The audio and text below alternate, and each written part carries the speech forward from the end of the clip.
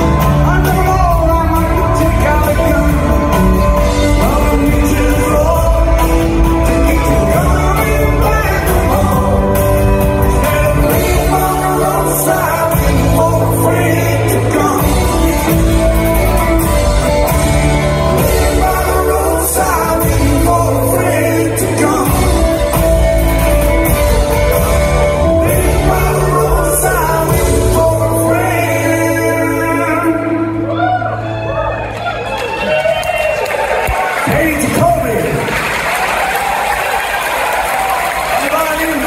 You want to open up here?